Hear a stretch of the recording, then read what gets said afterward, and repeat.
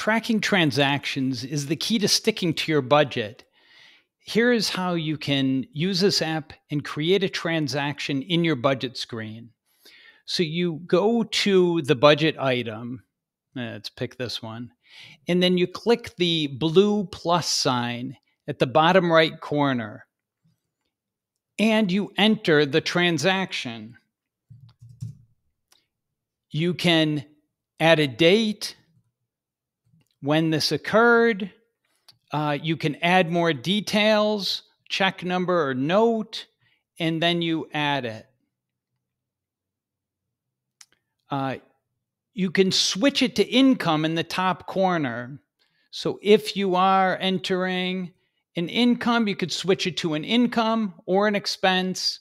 Actually, this is still with water, but if I were to switch this to an income source, you can switch from expense to income, put in the amount. You can even change a note. Let's just say we are entering our income. We could say uh, paycheck to, for example, uh, if you want to add check information, note in the details below. Okay. Great.